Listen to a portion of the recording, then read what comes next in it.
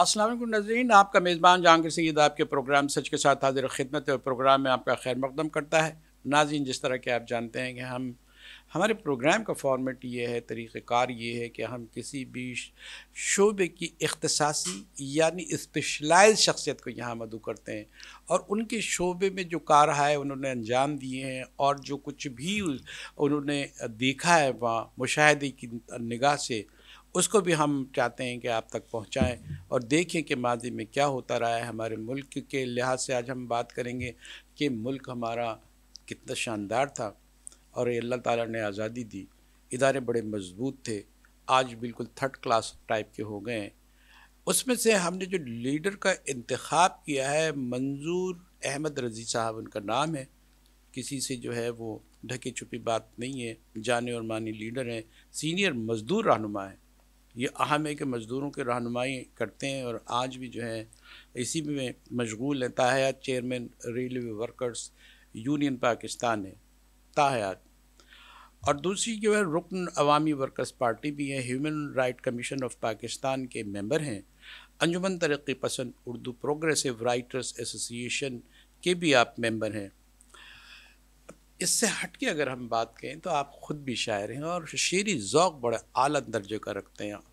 हम इसको भी शरीक करेंगे और हम चाहेंगे कि रेफरेंस से भी आप कुछ अशार हमें ऐसे रखें कि हम देख सकें कि मामला कहाँ हैं और ये दुख दर्द की कहाँ सी कहानी और इसमें बड़े बड़े लोग आए हैं, तहरीकें उन्होंने चलाई है, उन्होंने किस नज़र से देखा है और इस दुख को बयान किया है।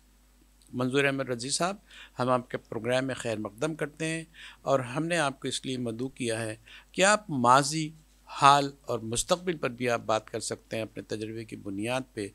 हमारा पहला सवाल ये है कि जो कुछ हमने तारफ़ किया है उसमें तो यही है कि पाकिस्तान हमारा हॉट टॉपिक है, उसकी जो सूरत हाल है, जो उसकी दुगरदों हालत है, एक अजीम ममलिकत हमने हासिल की थी। आप जो है रेलवे से ताल्लुक़ रखते हैं रेलवे टॉप जो क्लास का जो है उस वक्त सरकारी महकमा था उस बड़ा मुनज़म था। इसमें अंग्रेज़ों का भी बड़ा काम था कि उन्होंने रेलवे को बहुत मुनज़म और मरबूत बनाया। लेकिन बात की कहानी जो है बड़ी अफसोसनाक है। जुल्म की कहानी है। वो ये है कि अब थर्ड क्लास इदारा हो गया है। अब जब कोई इसमें कोई सफ़र करता है तो पता ही नहीं कि वो ज़िंदा रहेगा भी या नहीं रहेगा। ये सफ़र आखिरत होगा। ये सफ़र हयात होगा। यहाँ हम ये कहना चाहेंगे कि पाकिस्तान में जो आपके इदारे ने किरदार अदा किया और पाकिस्तान एक नई कौम की हैसियत से पाकिस्तान एक नए मुल्क की हैसियत से रोशनास हुआ था दुनिया में। लेकिन आपने जो मेहनत की और ह्यूमन राइट्स पर जो है आपने जद्दोजहद की, इस हवाले से कुछ आप बताइए। शुक्रिया आपका और आपके चैनल का। अर्जी है कि देखें, ये बड़ी लंबी कहानी है। मैं जब पैदा हुआ था तो तकसीम से पहले पैदा हो गया था 1945 में, रेलवे कॉलोनी कराची सिटी में। मेरे वालदेन जो, वाली जो थे, वो पहले से रेलवे में थे। 1940 में दादा बहरी जहाज़ में थे, कराची में थे। हम कलियाना से ताल्लुक़ था हमारा, लेकिन मुझे नहीं पता I don't know about this मैंने जो देखा पाकिस्तान रेलवे को तो बड़ बेहतरीन इदारा था। ये बड़ी मेहरबानी है, जहाँ हमारे अंग्रेज़ों ने काम किया पूरे बर सग़ीर में रेलवे के निज़ाम को पूरे हिंदुस्तान बर सग़ीर में मतलब ये किस तरह जी। इतना मज़बूत बनाया कि रेलवे बड़ी तरक्की की तरफ़ थी। जो विरसे में हमें पाकिस्तान में मिला रेलवे मुग़लपुरा की वर्कशॉपें बहुत बेहतरीन थी जहाँ आप समझ लें सुई से लेकर यूनिफॉर्म और कलम पेंसिल से लेकर वर्दी तक बनती थी। सही। और ये तरक्की की तरफ़ इंजन बनते थे कोचेज़ बनती थी ये सारी कुछ। बल्कि एक बात मैं और भी बता दूँ आपको कि जब सेकंड वर्ल्ड वार हुई तो बाद छोटे हथियार बरतानिया के बजाय रेलवे की मुगलपुरा वर्कशॉपों में बनते थे जहाँ चालीस हज़ार मुलाजमीन वर्कशॉपों में मुख्तलिफ़ वर्कशॉपों में सात वर्कशॉपों में काम करते थे। ओपन लैंड में एक लाख बीस तीस हज़ार मुलाजमीन थे जो कराची से लेकर लंडी कोतल तक और जैदान तक फैली हुई थी। अच्छा। अट्ठारह सौ इकसठ में कोटरी तक ये लाइन आ गई थी। अठारह में इसको एक्सटेंड करके केमाड़ी तक जो हमारा ये बंदरगाह है वहाँ तक इसे पहुँचाया गया। City station cantt station railway colony में डिस्पेंसरी भी थी स्कूल भी था सस्ते राशन का डिपो भी था। यानी तमाम सहूलतें मौजूद थी।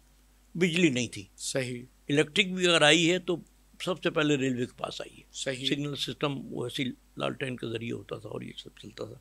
तो बड़ा बेहतरीन इदारा था। और ये इदारा बड़ी तरक्की करता कर रहा था। और कोई ज़राए नहीं थे। नज़र खा गई। क्या क्या हो नहीं, गया? नहीं बात यह है कि 1975 तक मैं as a booking clerk as a goods clerk as a अपना parcel clerk as a ticket checker मैंने काम किया।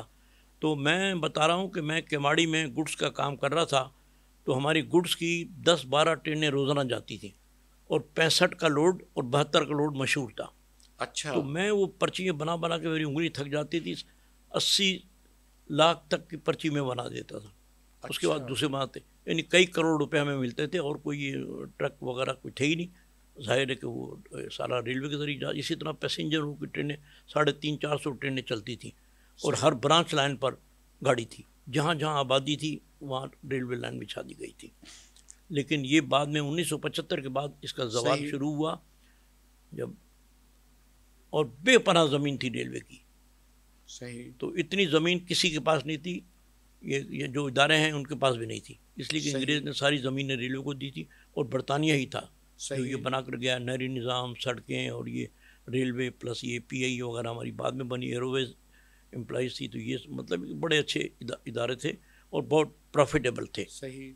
और मुलाजमीन की तादाद भी बहुत बेहतर थी और इदारा भी बेहतर था। सही है।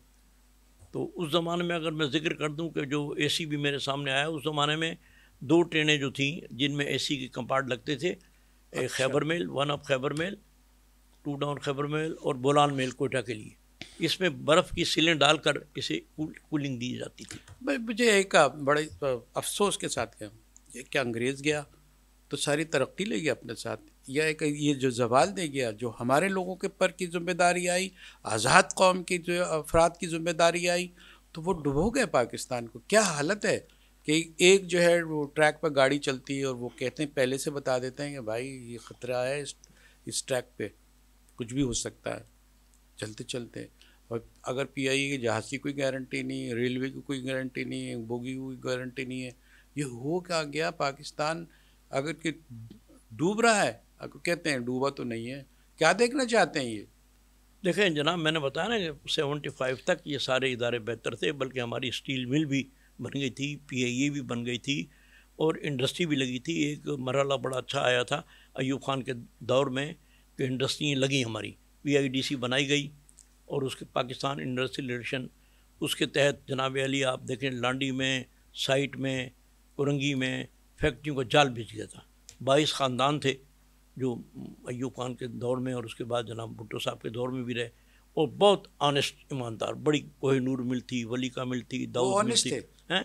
आज उनके ऑनेस्टी क्या हो गया? आज भी तो वो वो अगर वो बाईस नहीं थे चवालीस हो गए अब वो बाईस ख़ानदान जो बड़े शरीफ थे जिन्होंने बड़ी पाकिस्तान की खिदमत की बड़े फंड दिए ये देखे ना अफंदी साहब ने हमारा मजदूर रहनुमा की हैसियत से आप बात कर रहे हैं। नहीं मैं एक सियासी और एक आम शहरी और एक आम पाकिस्तानी की हैसियत से बात कर रहा हूँ इसलिए कि ये फ़र्ज़ बनता मेरा मैं पाकिस्तान यानी पहले पैदा हुआ था लेकिन पहला पाकिस्तानी हूँ जो शायद यहीं पैदा हो, हो गया था। तो मैं एज ए पाकिस्तानी और बाशूर पाकिस्तानी एक तो है ना कि हम पाकिस्तानी हैं मैं बाशूर पा, पाकिस्तानी हूँ मैंने इस मुल्क को देखा अच्छी तरह से। जब मैं शूर ये कहते हैं कि बाईस खानदानों की जागीर इतना रहा है ये इन्होंने जो है आज़ादी में किरदार अदा किया है और अपने लिए एक नई ममलिकत ईजाद कर ली दरियाफ्त कर ली। और तो ये तो एक कहानी है रिकॉर्ड पर मौजूद है। आप क्या कहेंगे उसके बारे में? देखें जनाब ये तो कायद अजम मोहम्मद अली जिना साहब की मेहरबानी है कि वो कांग्रेस से निकल कर मुस्लिम लीग उन्होंने बनाई और ये तय हुआ कि जनाब ये हम हिंदुस्तान में इस तरह नहीं रह सकते हमारे रस्म रवाज हमारी इबादत हमारे तरीक़ेकार नहीं है। बड़ी वो जा रहा था अंग्रेज़ तो जाते जाते उसने आधा पंजाब काट दिया आधा बंगाल काट दिया आधा सिंध बॉम्बे से निकल के सिंध को अलग कर दिया गया तो ये कर दिया गया। लेकिन उस वक्त बड़े अच्छे थे। बाद में जब जागीरदार और किस्म के लोग भी आए तो कायद अजम ने भी एतराफ़ किया कौन से जागीरदार थे जिनकी के खिलाफ आपने जद्दोजहद की आपने जेलें काटी? वो कौन से जागीरदार वो जागीरदार अब भी हैं। वो जागीरदार जो हिंदू उनको नहीं हरा सके आप पीछे नहीं, नहीं कर नहीं, सके। नहीं हटा सकते थोड़ा सा हिस्सा लिया था भुट्टो साहब ने। हम बस उनके उनके साथ शामिल हुए उनकी पार्टी बनाई। उनके देखें जो मंशूर बनाया उन्होंने वो हमारा बनाया था। पाकिस्तान के अवाम का बनाया था। रोटी कपड़ा और मकान। इस्लामी सोशलिज्म हमारी फिर सोशलिज्म हमारी मीशत होगी। ताकत का चश्मा अवाम होगा और आ, हमारा इस्लाम हमारा दीन होगा। ये चार पॉइंट पे वो जीते। लेकिन ईस्ट पाकिस्तान में बगावत हो रही थी और आप जानते ही किस तरह वो अलहदा हुआ हमारे साथ। तो उसके बाद जिस तरह संभाला है भुट्टो साहब ने या हमारे इदारों ने तो पाकिस्तान तरक्की की तरफ़ गामजन था। सेवेंटी फाइव तक मैं गवाह हूँ था जो है ना हाँ, था। था, था यही अलमिया है। यही हाल उसके बाद उसके बाद क्या किया? उसके बाद बस इदारों इदारों की मदाखलत हुई और फिर ज़मीनों पे कब्जे हो गए और रेलवे तबाही ये बस वो मैं क्या बताऊँ, वो वो इदारे थे जो पाकिस्तान की हिफाजत करने के लिए आए थे, आइन की तहफ़ के लिए। उन्होंने कोशिशें भी की, लेकिन ये कि तबाह तो चले चले गए। ज़ियाउल्लक के दौर में जनाब एनएलसी बन गई और नेशनल लॉजिस्टिक सेल ने रेलवे का बेड़ा गर्क किया और तमाम वो लेकर उसने देखा, इतना सामान पड़ा हुआ है बंदरगाह पर और उठाने वाला कोई नहीं सिवाय रेलवे के। तो एन एल सी को ला के खड़ा किया। पहली दफ़ा जो है उस ज़ियाउल्लक के दौर में ये काम हुआ। अब्दुल कादर थे उसके सईद कादर बहरहाल ये बताइए कि आपने ह्यूमन राइट्स कमीशन के भी आप मेंबर हाँ। रहे हैं। ह्यूमन राइट्स तो एक इंटरनेशनल सब्जेक्ट है और उसमें इंसानी हकूक़ के लिए आपने बात की है। वो तहरीक आपकी क्या रही है और उसमें जो है आपको बड़े बड़े नादिर कस्म के शरा भी मिले होंगे जिन्होंने बर्पा कर दिया एक तूफ़ान एक इनकलाबी फ़ज़ा क़्याम कर दी। उस फ़ज़ा का डिस्क्राइब करें आप। देखें बात सुने बात यह है कि आइन पाकिस्तान बना भी सेवेंटी थ्री में कहाँ फोर्टी सेवन बासठ का दस्तूर आया छप्पन का दस्तूर आया लेकिन ये कि आज़ादी मिली। देखे साहिल लुधियानवी ने बड़े कुछ कहे थे और शेर आज तक वो ज़िंदा हैं और ज़िंदा रहेंगे जब तक ये दुनिया कायम है। मैं समझता हूँ कि शायर की जो शायरी में है कि मुफलसी हस्से लताफत को मिटा देती है। हस्से लताफत को मिटा देती भूख आदाब के साथों सांचों में ढल नहीं सकती। हम जहाँ हैं वहाँ तहजीब मतलब गरीब कहाँ से अदब आदाब तो सीखेगा? तो वो कहाँ से तो सीखेगा? तो ये ये भी हाँ। कहा। फिर हबीब जालिब ने बहुत सारी बातें की कि दस करोड़ इंसानों ज़िंदगी से बेगानो सिर्फ़ चंद लोगों ने हक तुम्हारा छीना है। खाक कैसे जीने पर यह भी कोई जीना है? बैरिकों में ये फौजें किसके दम पे जीती हैं? वाह वाह। समझे ना? तो ये सारा कारखानों में आपका भी तो कोई शेर होगा इस रेफरेंस हाँ, मैं तो अपना एक मैंने जिस ज़माने में कहा था तो मैं फिल्मी दुनिया की तरफ़ और शायरी की तरफ़ मुतवजा था फिल्मी शायरी भी करते हाँ, रहे फिल्मी दु, फिल्मी दुनिया की तरफ़ जाना चाहता था लेकिन अच्छा। फिर मैं लेफ़्ट के हत्ते चढ़ गया तरक्की पसंद लोगों के हत्ते चढ़ गया और फिर मैं इस तरफ़ आया। तो दो दो दो, दो शेर सुना देता हूँ लेकिन वो इस किस्म के नहीं है कि जो इनकलाबी हों लेकिन वो दिल की भड़ास निकालने के लिए और इश्क और मोहब्बत के हवाले से दिल गया दिल लगी के सहारे गए। वाह। दिल गया दिल लगी के सहारे गए तुम गए ज़िंदगी के नज़ारे गए। मस्तियाँ हर तरफ़ रक्स करने लगीं जब भी दीवाने तेरे पुकारे गए। और जब चला मौज तूफ़ान से मैं खेलने जब चला मौज तूफ़ान से मैं खेलने दूर तक साथ मेरे किनारे गए। और आख एक और शेर सुना दूँ शायद वो आप काट कूट ना दें। तुम गए दिल गया दीनों ही माँ गए। वाह वाह। तुम गए दिल गया दीनों ही माँ गए।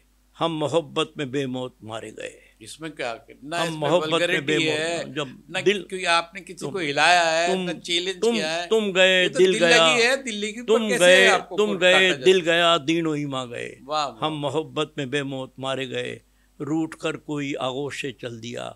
ए रज़ी आसरे सब हमारे गए। वाह वाह वाह तो बाकी मतलब जो सब एजाज आवारगी बयान कर रहे हैं ना इसमें हाँ, कौन सी एतराज़ हो। सकती है? हाँ, तो अच्छा ये जो सारी चीज़ें जब आप ये आए अब आज बैठे हैं, आप इस मसनत पर बैठे हैं, ज़िम्मेदारी है, आप सच बोलने की आपकी ख्वाहिश भी है, आप ये बताएँ कि हम जिस दलदल में फंस गए ये निकल कैसे सकते हैं? देखें, इससे निकलने का तरीका तो यही है कि मुल्क में जागीरदारी का निज़ाम, फ्यूडलिज़म का ख़ात्मा किया जाए। क्यों नहीं खत्म हुई? भाई ये इस्लाहतें हुई तो अयूब खान ने भी अयूब खान ने भी इस्लाहतें फ्यूडलिज्म के ज़रिए फ्यूडल के ज़रिए आपने इनकलाब लाना चाह। इनकलाब नहीं तरक्की चाहते हैं कि इतनी ज़मीन पड़ी हुई है बेकार पड़ी हुई है। आप देखें ना कराची से लांडी से आप निकले जंगशाही जमपीर तक ज़मीन पड़ी है। वहाँ के रहने वालों को दे दें आप लेकिन एक बात अजीब से लगती थी भुट्टो साहब बहुत बड़े इनकलाबी आदमी थे हाँ, बड़े और, और लेकिन मसला ये है कि फ्यूडल इनकलाब लाने के लिए जो फ्यूडलों की जगह अवामी लोग लाने के लिए उन्होंने फ्यूडल की फौज तैयार रखी थी। उनके साथ जितने थे फ्यूडल थे तो वो कैसे इनकलाब आ सकता था? नहीं नहीं नहीं नहीं ये बात नहीं है। आम आदमी भी थे। देखिए मेरे इलाके से अब्दुल वहीद अरशी बंस रोड पर रहते थे एक ही फ्लैट में और वो मैंने खुद वहाँ अप्लीकेशन दी और भुट्टो साहब ने उनको एम का टिकट दिया। इस तरह एम एन के भाई थे हमारे एक्सप्रेस के जो शाह साहब, उनके भाई थे, वो एम एन ए बने और रेलवे कॉलोनी से जीते। और शेख मोहम्मद रशीद, जो बाबा सोशलन थे सीनियर वाइस चेयरमैन थे वो जीते। जो इनके खिलाफ आवाज़ उठा रहे थे वो सब सब वो भुट्टो साहब डॉक्टर मुबशिर हसन उनके जे रहीम जे रहीम जे रहीम। ऐसे लोग उन्होंने रखे। आप देखें और साथ साथ लॉट्स भी रखे। माने वो वो ज़ाहिर है कि वो उस वक्त ज़रूरत थी तो रखा चूँकि खैर आप उस नज़रिए ज़रूरत की बात कर रहे हैं यहाँ भी नज़रिए ज़रूरत आ गई ऐसा लगता है। आ गया था इसलिए कि वो ज़ाहिर है कि थोड़ा बहुत उनकी भी जमीनें थी लेकिन वो ऐसा था जी। नाजिन, छोटा सा ब्रेक लेते हैं और ब्रेक के बाद हम जो तबाही हमारे मुल्क में फैली है, जो मायूसी की कैफियत है, हर के, कोई कहते हुए बिल्कुल भी नहीं जश रहा कि हमारा मुल्क शायद डूब रहा है। और अगर इसको बचाने के लिए हम सोचें, हमारा दुख हो तो हम इसका क्या हल निकालेंगे? यही हमने डॉक्टर साहब से सवाल किया था और उसका जवाब मज़ीद लेना है। एक छोटा सा ब्रेक लेते हैं हमारे साथ रहिए।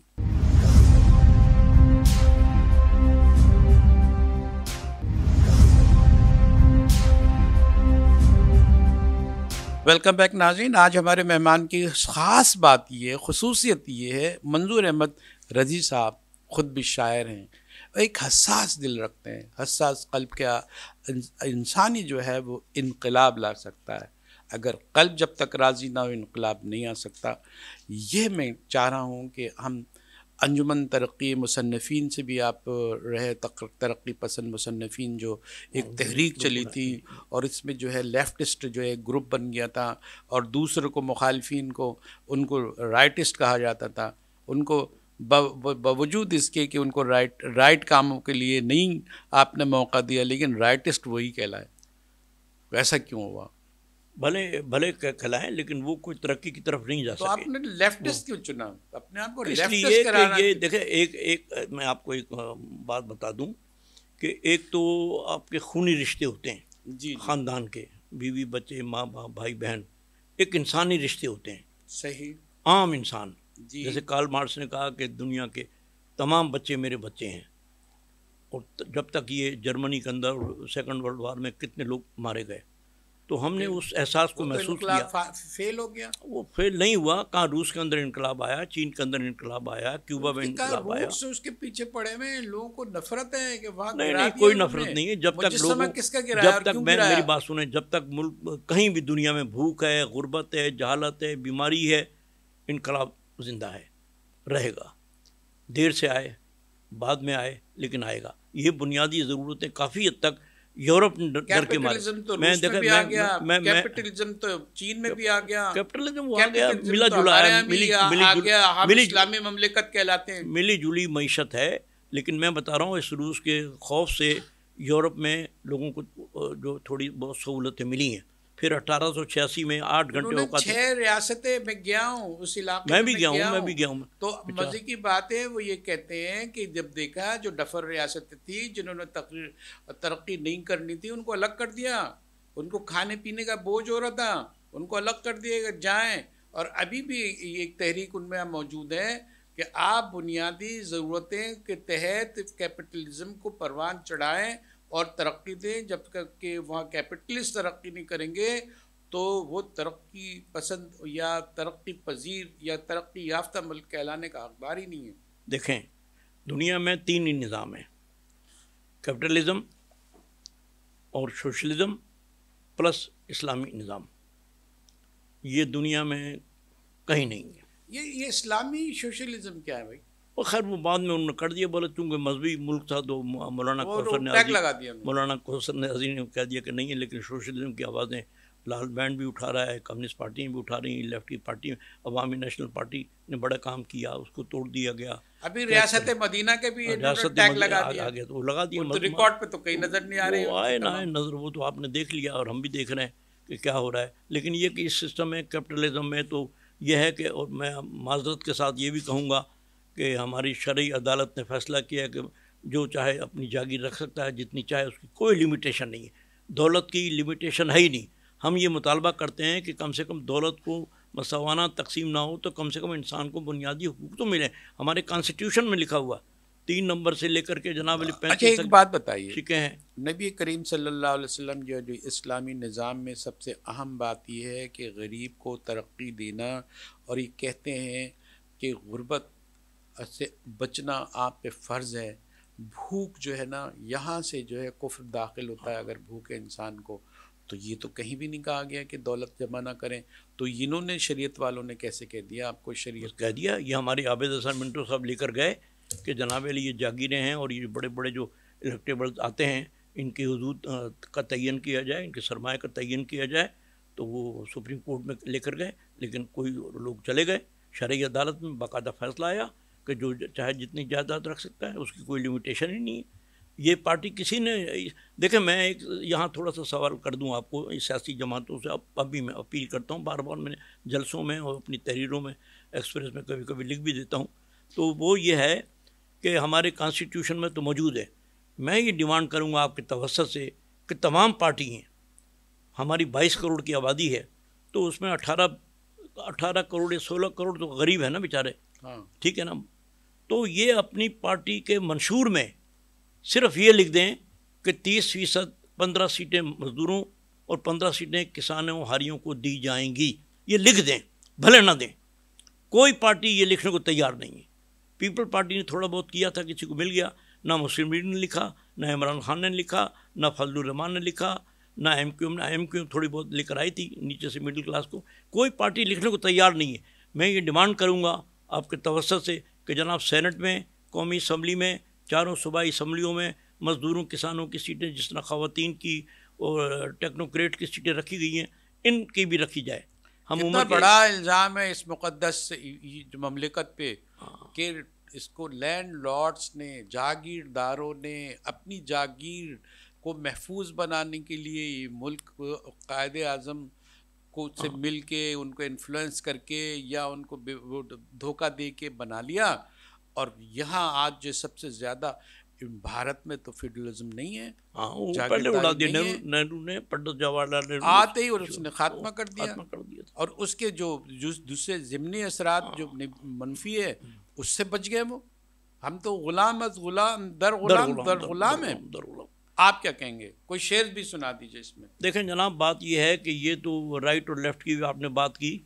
तो हमने जो रास्ता इख्तियार किया है, वो हमारे एक बड़े अच्छे शायर हैं, डेरा गाजी खान में थे और जनाब पढ़ लिखे और वो बिल्कुल मुताबिक हमारे दोस्तों पर फिट आता है। हम बिखर भी गए हैं, लेकिन सारे मुल्क में मौजूद हैं हम। देहातों में, कार, अपने शहरों में, हर जगह हम मौजूद हैं, हर फोरम पे मौजूद हैं, लेकिन हम, हमारे पास यकजा होने का कोई तरीका नहीं। लेकिन हमारे शहर के दो चार शेर हैं कि कश्ती भी नहीं बदली वाह। दरिया भी नहीं बदला। वाह वाह वाह। कश्ती भी नहीं बदली हम लोगों ने जी जी कश्ती भी नहीं बदली दरिया भी नहीं बदला।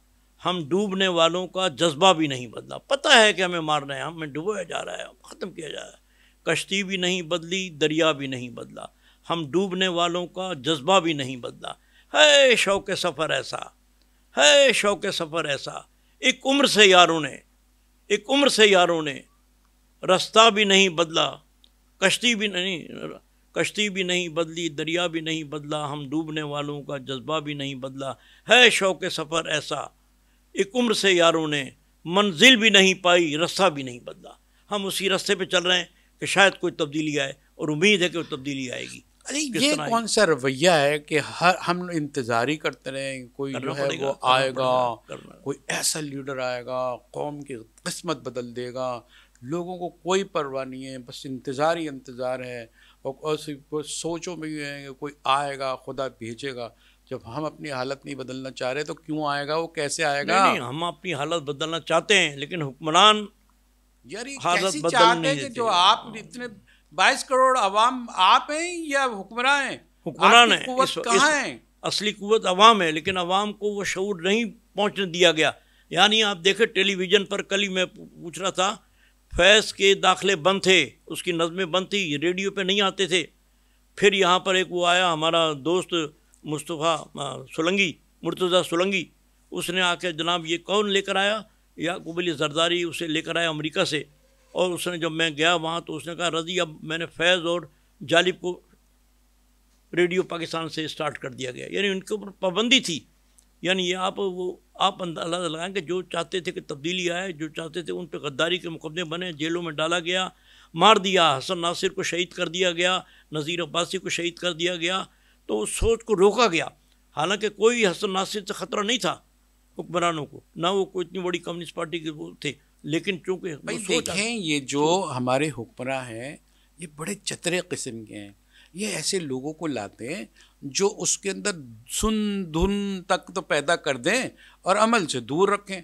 क्या क्या क्या? जालिब ने कोई कोई इनकलाब बर्पा हो गया इतना ज़बरदस्त इसका कलाम था। नहीं नहीं जालिब देखो और ये दूसरे क्या हुआ? कुछ भी नतीजा खेस तो नहीं हुआ ना?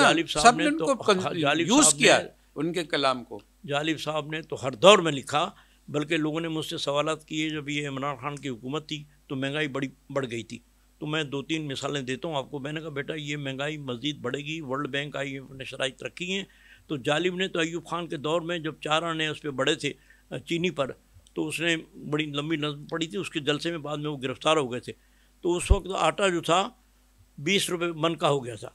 तो वो शेर है उसके कि बीस रुपये मन आटा, उस पर भी ये सन्नाटा वो तरनु से पढ़ते थे, बीस रुपये मन आटा उस पर भी है सन्नाटा। गोहर सैगल आदम जी बने हैं बिरला और टाटा। जैसे यही हैं दुनिया में शाद सदर अयूब जिंदाबाद सदर अयूब जिंदाबाद। तो वो गिरफ़्तार हो गए थे। ये बीस रुपये मन कब था? अयूब खान के दौर में बासठ तिरसठ में। उसके बाद देखें तब्दीली आई। और तब्दीली आई फिर जनाब आ, चलो भुट्टो साहब ने तो कुछ किया होगा। बेनज़ीर के दौर में हमारे बाबा नजवी के शेर थे वो प्रेस क्लब में पढ़ रहे थे और वहाँ वज़ीर आलबी और ये आए हुए थे। उस वक्त जो था उसने दो शेर पंजाबी के हैं एक सुनाऊँगा एक ही मिसरा कि आटा सत रुपये शेर हम्म। बीबी रानी बड़ा अनेर।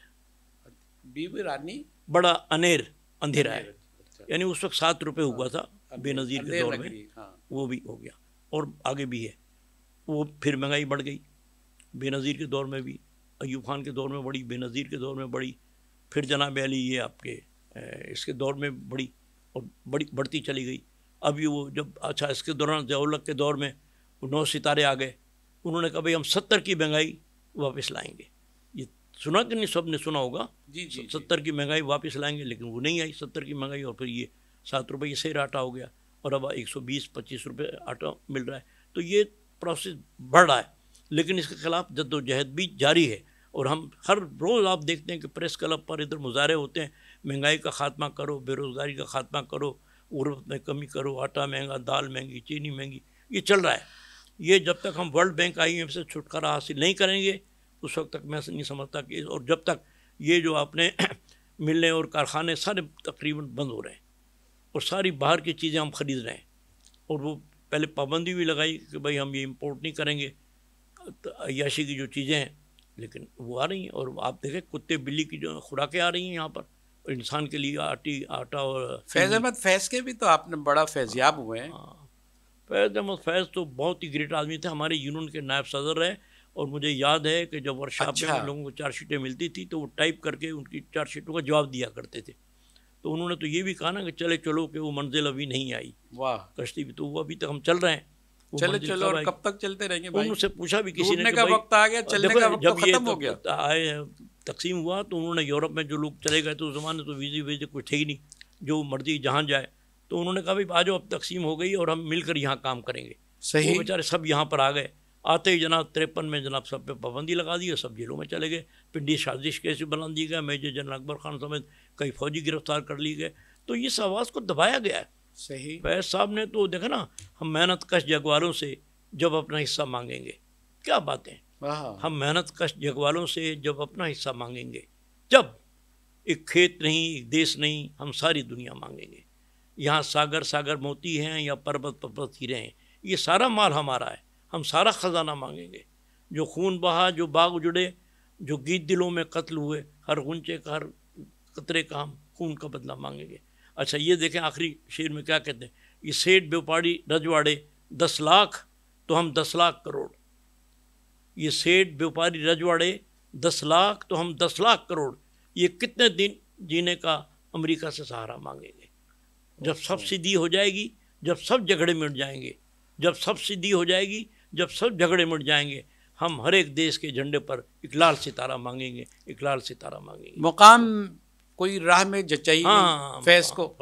अब आप हाँ वो तो इश्क से चले हाँ। इश्क मोहब्बत से चले फिर उन्होंने जो है दुनियादारी है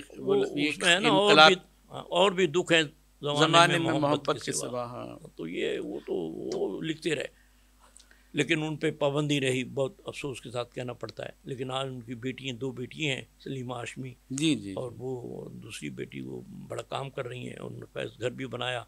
मेले भी लगते हैं अब जालिब का भी मेला लगता है लाहौर में भी कराची में भी और जनाब अली आप सारे मुल्क में फैज़ के भी मेले लगते हैं और हमारे शायर साहब के भी लगते हैं। उन शायरों को उगाया जा रहा है। लाल बैंड में तैमूर साहब ने जो फैज़ साहब की नज़में पढ़ी हैं कैफ़े आजमी को सुनाएँ कुछ क्या आप थोड़ा सा महसूस तो हुआ मैं हाँ। कैफ़े आज़मी का एक शेर बड़ा अजीब और गरीब है और बड़ा है सो जाते हैं फुटपाथ पर अखबार बिछा कर वाह। सो जाते हैं फुटपाथ पर अखबार बिछा कर मज़दूर कभी नींद की गोली नहीं खाते। वाह वाह सो जाते हैं फुटपाथ पर अखबार बिछा कर मज़दूर कभी नींद की गोली नहीं खाते। उन्होंने बड़ा लिखा सिप्त हसन ने लिखा। तो बहुत मंजूर अहमद रज़ी साहब आपने जो कैफियत यहाँ पैदा कर दी है अब हमारी जो मायूसी है कौम की उसमें अगर ऐसा हम चाहते हैं कि कोई ऐसा थ्रिल पैदा हो शायद हम जो है इस क्राफ्ट से बाहर निकले। आउट ऑफ़ द बॉक्स जाके हम सोचें, अपने मुल्क को बचाने की कोशिश करें। यहाँ नाजिन एक छोटा सा ब्रेक लेते हैं। मंजूर रज़ी साहब हमारे साथ मौजूद हैं। उनसे बातें जारी रहेंगी। हमारे साथ रहिए।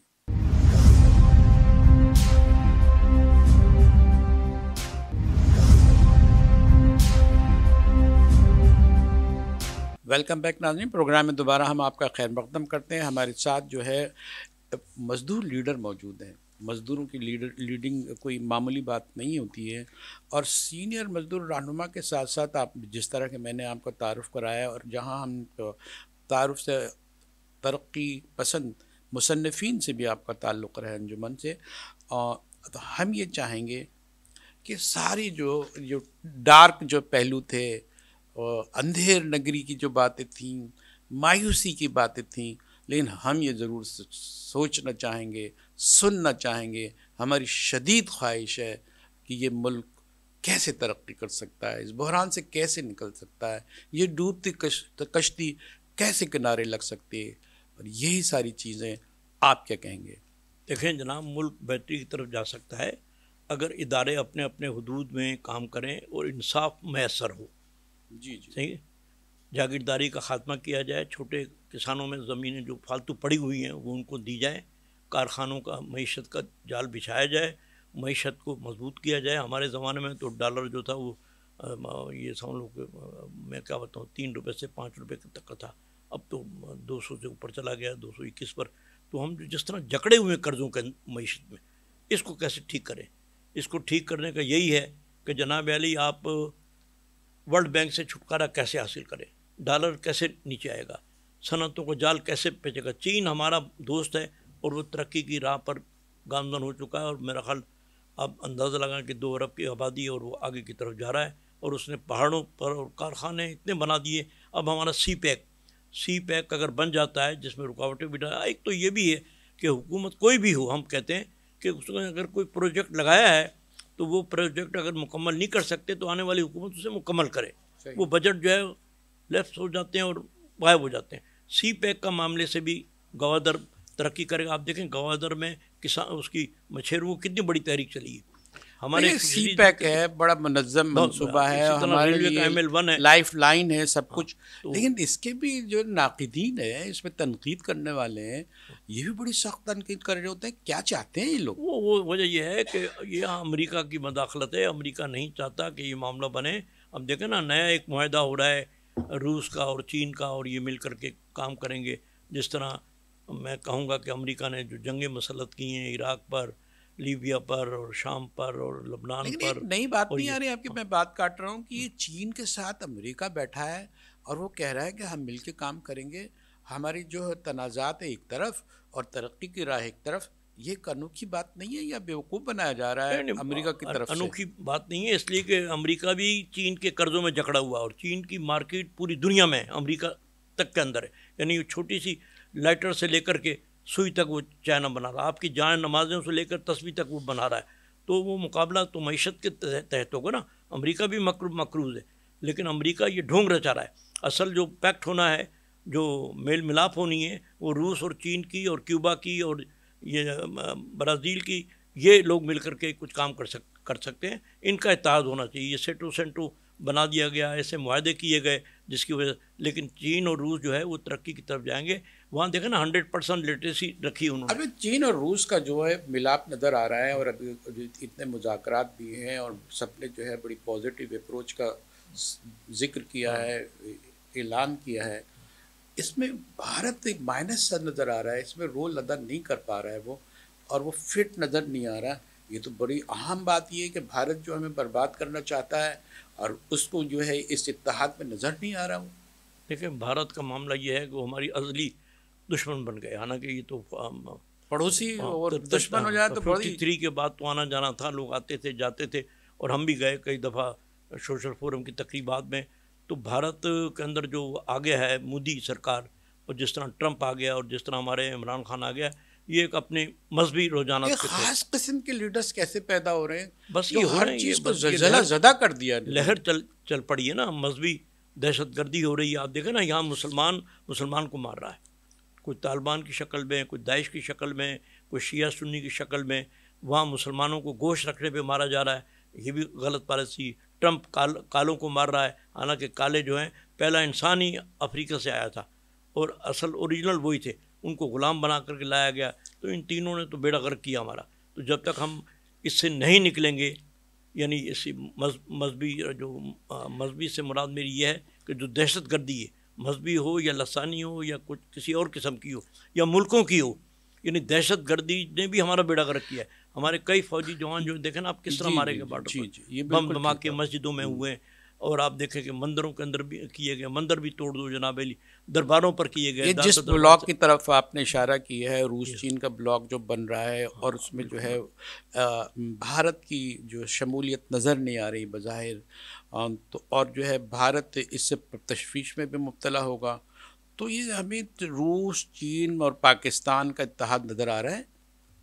नहीं देखिए रूस और चीन पाकिस्तान का तो होना चाहिए। वही तो हमारी बड़ी ख्वाहिश है। चीन के बारे में तो हर हुक्मरान ने कहा है कि चीन तो, तो हमारा बहुत प्यार पुराना दोस्त है। रूस तो से थोड़ा रूस से थोड़ा इख्तलाफ था लेकिन अब रूस के भी करीब आया। अब वो चाह रहे हैं कि जनाब अली हम तेल वहाँ से लेकर के आएँगे और ये करेंगे बल्कि जान ने तो कहा कि चावल भी हम पाकिस्तान से ख़रीदेंगे तो हमारी जो इम्पोर्ट एक्सपोर्ट अगर बढ़े बढ़ेगी तो हम तरक्की की तरफ़ जा सकते हैं। भारत का जहाँ तक मामला है हमारा पड़ोसी मुल्क है और उसके साथ दोस्ताना ताल्लुक होना चाहिए।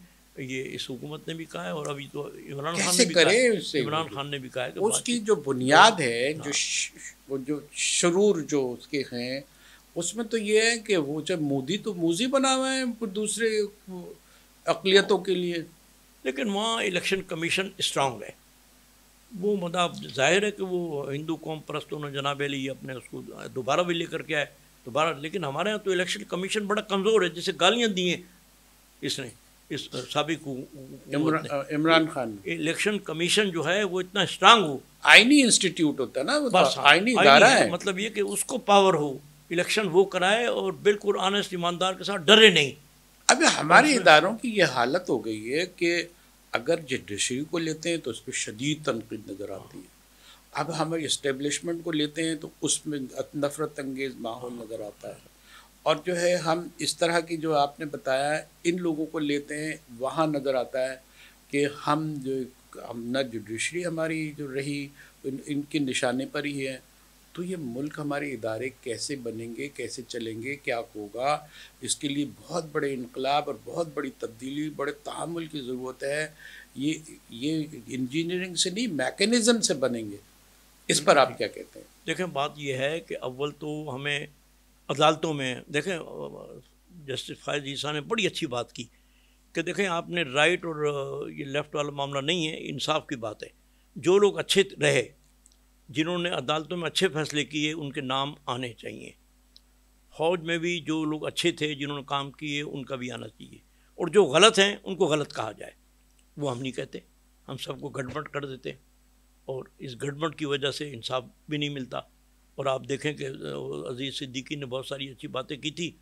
उसका वो बेचारा वकील बन गया। और फ़ायद ईसा के साथ क्या किया गया? यानी फ़ायद ईसा के जो वाली थे, मैं मुझे याद है मेरे अब्बा बताते थे कि वो कायद अज़म साहब के डी थे जिस तरह रज़ा रब्बानी के वालिद भी थे वो भी कायद अज़म के वो रहे। तो वो जो एक ही तरफ़ की आप बिल्कुल बहुत ठीक है ये नाम अहम है और लेकिन जब आप जो आप जो राइटिस्ट नज़र आते हैं उनमें भी हीरो होते हैं उनका ज़िक्र करने में कौम कौम परस्त नहीं है। नहीं, नहीं, वो पाकिस्तान के लोग नहीं है। जब आप खुद एक डिवीज़न की लकीर खींचते हैं तो ये तो अफरा तफरी रहेगी और दो बच जाएँगे इसमें मैं हालाँकि इख्तलाफ है ना। लेकिन जमहूरी सिस्टम सियासी पार्टियों में नहीं है। मैं मौलाना अबुल आला मदूदी साहब की जो थी बात उसको मानता हूँ। वहाँ एक प्रोसेस है। उन्होंने और प्रोसेस के तहत जमहूरियत तो जमहूरियत के तहत की कोशिश इलेक्शन होते हैं। कि तफसीर लिखी है तो, बड़े और आज देखें ना सिराज सिराज साहब जो हैं जो वज़ीर भी रहे और जमात के सरबरा हैं बड़े सादा अंदाज में बसों में वैगनों में रिक्शे में सफ़र करते हैं तो ये उसमें तो है जमहूरियत। पीपल पार्टी में बर नाम है मुस्लिम लीग में भी ख़ानदानी मामला है। इमरान खान के यहाँ तो आप जान ही रहे हैं कि उन्होंने तो इलेक्टेबल लाए और ला करके जनाब उनको इलेक्शन जितवाया तो जमहूरियत आनी चाहिए। इसी तरह ट्रेड यूनियन के अंदर भी यही है अच्छा, अच्छा एक बात है मुझे वजाहत हाँ। चाहिए आपसे। इलिटरेट कौम है पढ़ी लिखी नहीं है सेंस नहीं है। आपने खुद एतराफ़ किया है कि उनको जो है अब उनकी बालिग नज़री नहीं दी गई उनको। किसी काबिल नहीं है। आप किस कौम की बात करें किस आवाम की बात करें जिनको समझ ही नहीं है। वो जो अंग्रेज़ी में आधे अल्फाज तो अंग्रेज़ी के होते हैं। हाँ। तो वो उनको बेचारों क्या उनको उर्दू समझ में नहीं आती है? इतने पीछे हैं वो।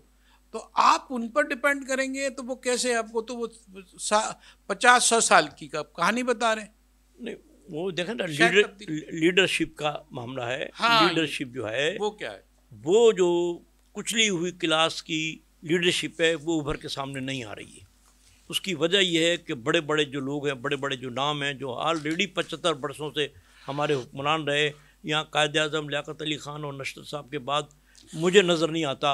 कि कोई ऐसे हुक्मरान आए हो थोड़ा बहुत भुट्टो साहब ने काम किया था और वो शायद अब भी कर रहे हैं बेनज़ीर के बाद भी। बाकी कोई उम्मीद नहीं लीडरशिप की ये पैगाम। अच्छा फिर हमारा जो अभी बात बार बार हुकूमतों ने कहा कि हमारा जो निसाब है वो निचली सतह पर देखो पहले सरकारी स्कूलों में जो लोग पढ़ के आते थे वो सब सी एस एस बने।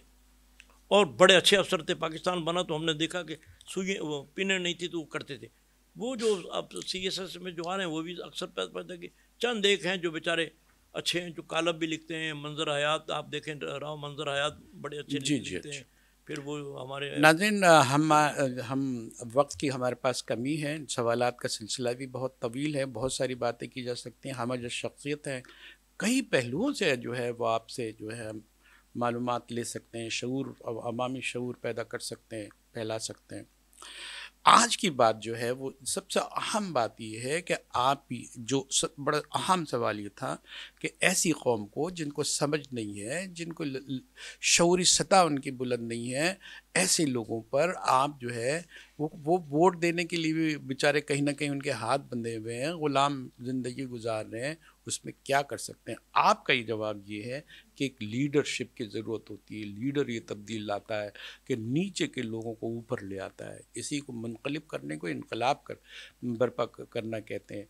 शायद हमें लीडर नहीं मिला तो आपने कुछ मिसालें भी दी हैं शुरू शुरू में एक दो लीडर आए, लेकिन उनकी ज़िंदगी ने वफा नहीं की, उनके साथ किसी को शहीद कर दिया गया और कोई जो है अपने चले गए। और उसके बाद जो खेल खेला गया, वो आज तक खेला जा रहा है। खुदा खैर करे दुआ तो बस यही है ख्वाहिश भी यही है कि मंजूर अहमद रज़ी साहब ने जो इशारे किए हैं वो बड़े अहम हैं। लेकिन हमें एक हमारा भी एक सवाल था कि देखिए लेफ़्ट राइट के चक्कर में ना पड़ें कौम परस्ती इख्तियार करें पाकिस्तान की सोचें और जो है ये जो इतना तफावत और इतनी दुश्मनी और इतनी नफ़रत की फ़ज़ा है इसको ख़त्म करें तभी कुछ हो सकता है। इसी दुआ के साथ अपने मेज़बान जहांगीर सैद को अपने मेहमान मंजूर अहमद रज़ी साहब के साथ इजाज़त दीजिए इन फिर किसी मुलाकात में बात होगी, सवालत किए जाएँगे। तब तक के लिए इजाज़त, अल्लाह हाफिज़।